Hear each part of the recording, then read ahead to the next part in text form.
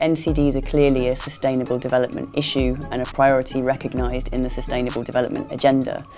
And it's often the most vulnerable populations, poorer communities, who are experiencing higher exposure to the risk factors for NCDs, as well as being left behind in terms of access to NCD services and care.